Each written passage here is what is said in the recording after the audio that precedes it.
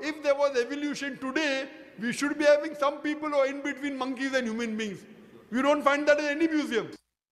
Over 6,000 individuals now we have cataloged um, in hominin evolution. You can line up Australopithecus on the left, modern human on the right, and every little minor change is a macro change. But you go back and look at the first skull and the last skull, and everybody's going to say, oh, yeah, that's a different species. That's macroevolution. We just witnessed a change in kind by studying the fossil record. Australopithecus afarensis female on the left, Homo sapiens female on the right. I don't think anybody's going to disagree that we have two different species. Most of the scientists today, they do not agree with Darwin's theory. I'm afraid you couldn't be more wrong.